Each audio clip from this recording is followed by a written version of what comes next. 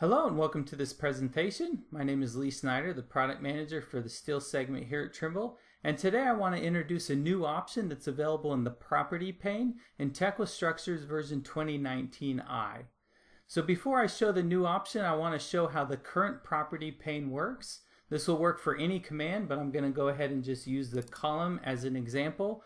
So I'll go ahead and double click to activate that command. You can see that I have settings that are loaded in here for me to be able to use. And now as I zoom in, I can just begin clicking and that's going to come in and model in these columns just as I would expect. So let's say that I needed to change one of these or make any modification. Again, this will work for any property, but just to make it easier to see, I'll just go ahead and use the class. So if I come in and modify any of these properties, as soon as I hit modify, what happens is those current settings are applied or set as a default for me to use the next time I use this modeling command. So if I come back and activate this column command again and model in these columns, you can see that instead of them being magenta, they are now going to be this green class because that's the last setting that I changed or modified. So for those that use Tekla structures, prior to the property pane, we had dialog boxes, and in the bottom of each dialog box, we had a get, apply, and a modify option. The way that that worked is that if you selected something in the model, you could click on Get. That would retrieve the properties from that selected object and populate the dialog box.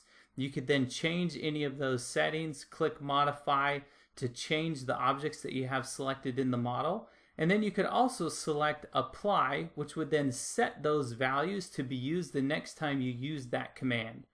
Well, when we migrated to the Property pane, the get and the apply functionality was removed and automatically included in the property pane. So what that means is that when you select something in the model, for example, if I go select a new column, it automatically gets those settings and applies them. So now if I activate this modeling command again and click, you can see that it's going to use those new settings because it automatically got those when I selected them and applied them so that the next time I use that command they would be utilized. Well, sometimes you want to go in and click on things within the model, but you don't necessarily want those settings to be applied. You just want to view what they are.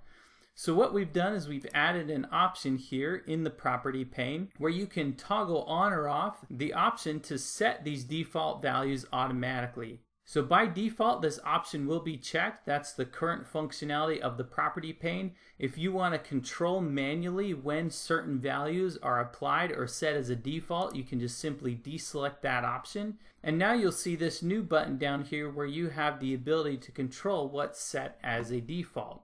So let's go ahead and start this exercise again. I'll just go ahead and activate the column command. Let's load in these standard settings and I'll show you the difference of how this new command works now. So now I have settings that are loaded so I can come in and click just as you would expect and it will model in those columns with my current properties. If I click on something here to modify the class for example or any other property I can go ahead and click on modify but now when I go back to activate that command again, it's using the original settings, so it's not automatically applying things after I modify them. So let's go ahead and click this column again. We'll show one more example where we change the class and click modify. And now I can also choose at any time to set as default. So if I want that red class now to be my default, I can activate that command and now I can begin modeling these columns in. So what this option allows you to do is to choose whether properties are automatically applied or if you want to choose when to manually apply or set certain default settings. So as mentioned, this is available in Tekla Structures version 2019i. We invite you to try it out, send us any feedback that you may have, and we hope you enjoyed this new development.